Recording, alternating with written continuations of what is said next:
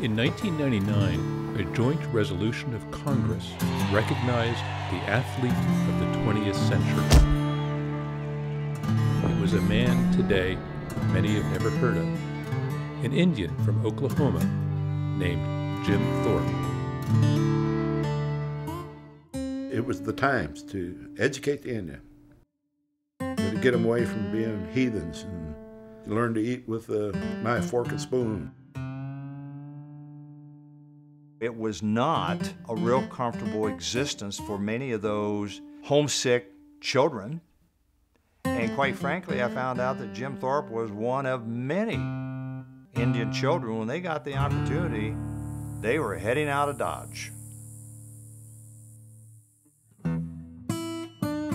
These guys were practicing high jump, and nobody could get over that bar. And so they went over the top of the bar, and had a couple inches of spare, and Warner saw that and said, what the hell's that?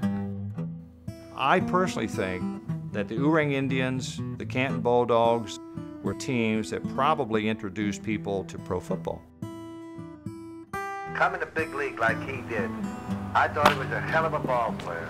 He was fast. He could do anything. He's the only Olympic athlete to ever participate in 17 events won the decathlon, and also he won the pentathlon.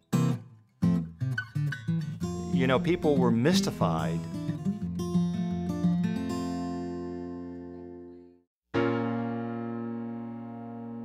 Dad had a very sad personal life. He lost his twin. He lost his mother. He lost his father. His first son he lost. His first child.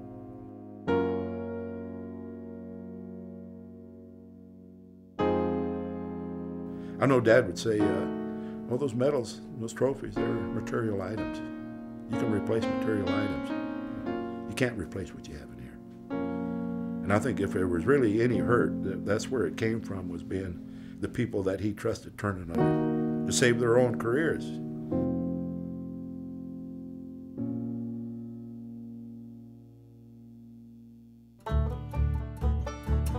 It's legend, legend in Indian country.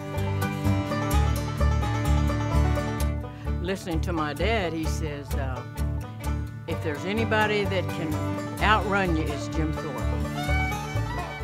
Whenever I get down and tired sometimes, I used to always think about, uh, in my mind, about Jim Thorpe doing what he did, and it would motivate me to just keep running and just keep going